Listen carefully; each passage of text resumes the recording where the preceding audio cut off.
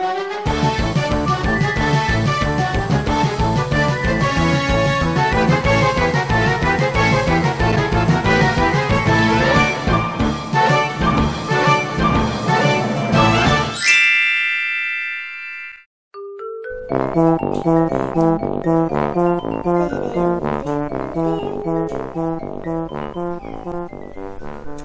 วัสดีค่ะ วันนี้สบายมากับโซฟีนี่ เจ้าหญิงโซฟีนะคะ เป็นไงบ้างโซฟีวันนี้อากาศดีไหมเอ่ยดีมากเลยค่ะดีมากเลยค่ะ เห็นไหม วันนี้อากาศดี เพราะฉะนั้นพบกับสบาย EP 4 นะคะ ก็จะเป็นนี่เลยโซฟีมีโดม ภายใต้โดมของโซฟีจะมีอะไรเอ่ย งั้นเดี๋ยวเรารอไปลุ้นกันที่ท้ายรายการเลยเนาะ ส่วนตอนนี้เดี๋ยวเราพาไปดูวิธีการทำเจ้าหญิงโซฟีมีโดมก่อน ไปกันเลย นี่ ค่ะและสำหรับขั้นตอนนี้นะคะ สบายก็จะพาเพื่อนๆ มาดูวิธีการทำกระโปรงของเจ้าหญิงโซฟาโอ้โซฟีเย้ถูกแล้วโอเคค่ะ ก็สำหรับในการทำกระโปรงของเจ้าหญิงโซฟีของเรานะคะ เราก็จะมาเริ่มโดยการหลอมเจ้าตัว white coating ตัวนี้ก่อนนะคะอ่าสบายก็จะใส่ไปอีกสักส่วนหนึ่งโอเค เราก็มาขั้นตอนในการเตรียมลูกโป่งเลยอ่าเพราะว่าในขั้นตอนนี้ในการทำกระโปรงของเจ้าหญิงโซฟีของเราเนี่ย เราต้องใช้เป็นลูกโป่งนะคะ เพราะว่ากระโปรงของเจ้าหญิงโซฟีเนี่ยจะเป็นเหมือนครึ่งวงกลมหรือว่าเป็นโดมนะคะ ไม่ใช่โดมประกองลำไม่ใช่โดมอะไรทั้งสิ้น แต่คือโดมกระโปรงโอเคค่ะ เดี๋ยวสบายก็จะเป่าเลย นี่ เสร็จแล้วเห็นไหมใส่น้ำเอาไว้ด้วย นี่ จะได้เป็นประมาณลูกเท่านี้ นี่ โอเค เอ๊ะ มีอีกลูกนึงนี่ไม่ต้องตกใจ เรียบร้อยแล้วค่ะสำหรับลูกโป่งใส่น้ำของสบาย2ลูก โอเค เดี๋ยวตอนนี้สบายก็จะทำให้ white coating เนี่ยละลายนะคะ แล้วเดี๋ยวเราจะมาดูกันว่าเราทำยังไงต่อไป ค่ะหลังจากที่เรา ละลายเจ้าตัว white coating นะคะ จนละลายเป็นเนื้อเดียวกันหมดแล้ว เดี๋ยวสบายจะยกลงมา แล้วก็เอามากรองใส่ตัวกระชอนนะคะ โอเคค่ะ หลังจากที่สบายกรองเจ้าตัว white coatingนะคะ แล้วสบายก็คนมาอยู่ได้สักพักหนึ่งแล้ว ก็คนจนให้อุณหภูมิอะในชามผสมตัวเนี้ยให้มันร้อนน้อยลง แล้วก็อยู่ในอุณหภูมิที่กำลังอุ่นๆนะคะ ถ้าเกิดเราเอาลูกโป่ง ไปจุ่มในขณะที่มันร้อนเนี่ย มันจะทำให้ระเบิดแตกโป๊ะ แล้วก็เลอะเทอะได้เนาะโอเค โอเคค่ะ เดี๋ยวสบายจะนำโดมเนี่ย จุ่มลงไปในตัว white coating แล้วนะคะ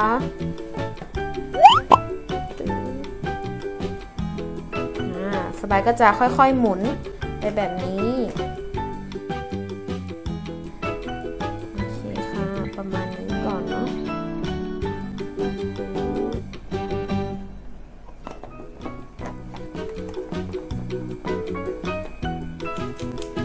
ค่ะ แล้วก็หลังจากที่สบาย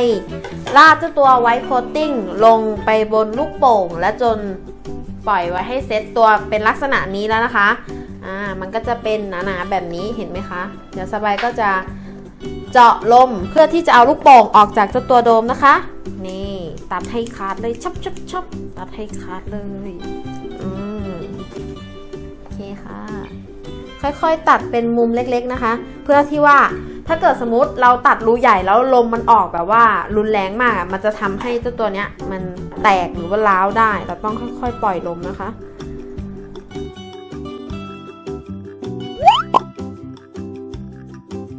จะได้ออกมาเป็นโดม กระโปรงเจ้าหญิงโซฟี นี่ เห็นไหม สวยมาก โอเค เคค่ะเรียบร้อยค่ะ เดี๋ยวขั้นตอนต่อไปเดี๋ยวเราจะมาดูกันว่าเจ้าหญิงโซฟีนั้นมาจากไหนและทำยังไง โอเค ไปกันเลย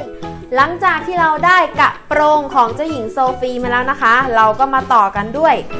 ขั้นตอนในการทำเจ้าหญิงโซฟีนี่เห็นไหมสบายปิ้นลงบนแผ่นช็อกโกแลต transfer นะคะ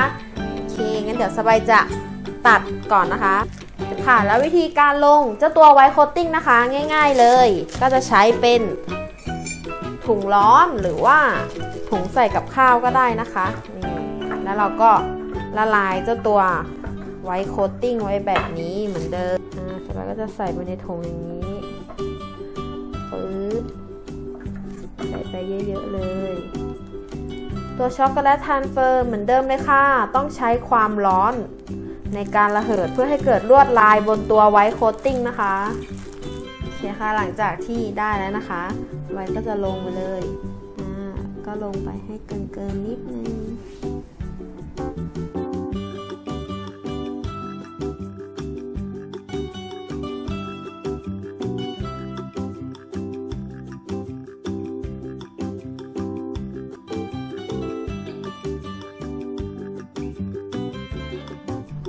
ค่ะ เดี๋ยวเราจะรอให้เซตนี้แห้งก่อน แล้วก็ต่อไปเดี๋ยวเราก็จะมาลงอีกรอบหนึ่งเนาะ เพื่อให้ตัวของเจ้าหญิงโซฟีนั้นมีความหนามากขึ้น โอเคค่ะ ค่ะ และหลังจากที่สบายลงเจ้าตัว white coating หรือว่า white chocolate ครั้งที่ 2 แล้วก็รอจนแห้งแล้วนะคะ เดี๋ยวเราก็จะมาลอกตัวช็อกโกแลต transfer ออกจาก white coating นะคะ นี่สบายก็จะลอกออกเลยปึ๊บ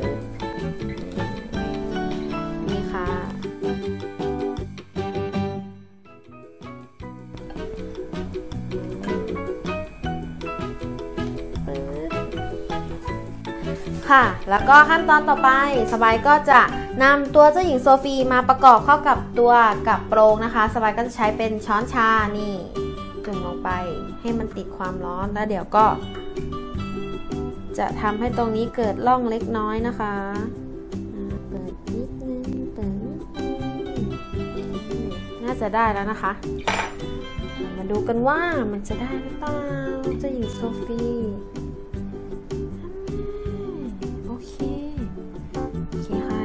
จะใช้เป็นไวท์โคตติ้งเชื่อมนะคะ เชื่อมให้ติดกับตัวโดมนะคะ จะหยอดไปเล็กน้อยนะคะ นี่นะคะสบายก็จะหยอดไป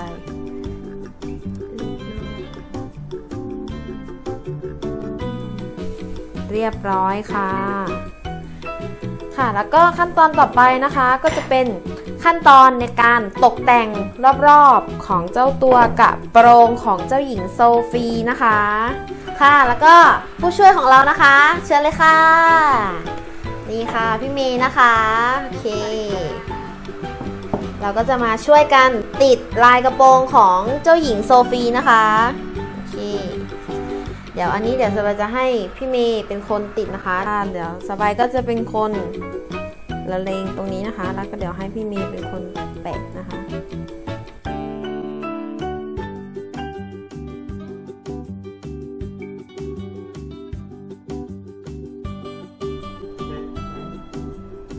อะพี่เมย์แปะเลยค่ะ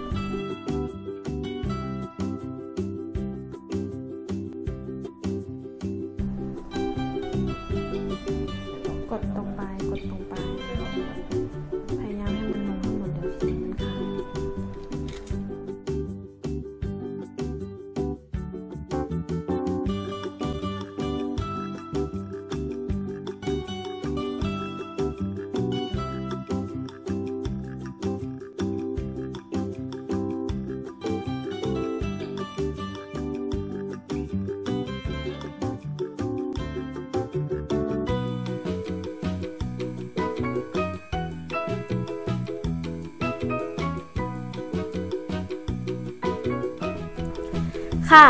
ก็หลังจากที่สบายตกแต่งลายของกระโปรงเจ้าหญิงโซฟีเรียบร้อยนะคะ ก็จะออกมาเป็นลักษณะนี้เป็นไงนี่ก็จะมีติดเป็นดอทไม้ด้วย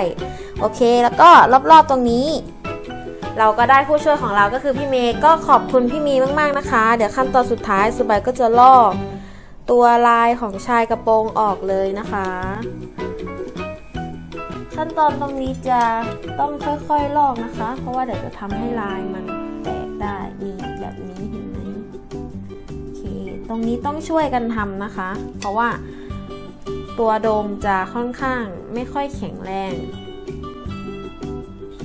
โอเคนี่ออกมาเป็นลักษณะนี้นะคะ เรียบร้อยแล้วกระโปรงของเจ้าหญิงโซฟี หรือว่าโซฟีมีโดมตรงนี้ ข้างในนี้จะมีอะไรนะคะ เดี๋ยวเรามาลุ้นกันเลย ค่ะก็เรียบร้อยแล้วนะคะสำหรับโซฟีมีโดม เรามาลุ้นกันว่าภายในของโดมของโซฟีเนี่ย มีอะไรอยู่ข้างใน งั้นเรามาลุ้นกันเลยโอเคสบายจะราดตัวนมสตรอเบอรี่ลงไปเลยนะคะ นมร้อนสตรอเบอรี่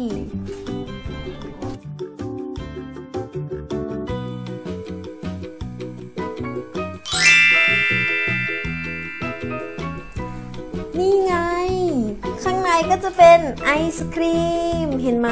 หูน่าทานมากเลย เป็นไงโซฟีของเรา มีเรื่องให้เซอร์ไพรส์อยู่ตลอดเวลา โอเค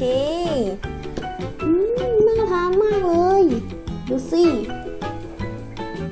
ค่ะแล้วก็ผ่านไปเรียบร้อยแล้วนะคะสำหรับเมนูโซฟีมีโดม หรือว่าโดมที่ สอดแทรกภายในไว้นั่นคือไอศครีม3รสชาติเลยนะคะ แล้วก็เพื่อนๆคงจะแอบเห็นแล้วสิท่าว่า ภายในโดมของโซฟีน่ะมีโลโก้อะไรซ่อนอยู่ ก็จะเป็นโลโก้พิมพ์เค้กนั่นเองนะคะ ติดตามสบายตาม YouTube Channel International Connected Thailand นะคะ ก็ขอลาไปก่อน สวัสดีค่ะ พบกันใหม่กับ EP หน้านะคะ บ๊ายบาย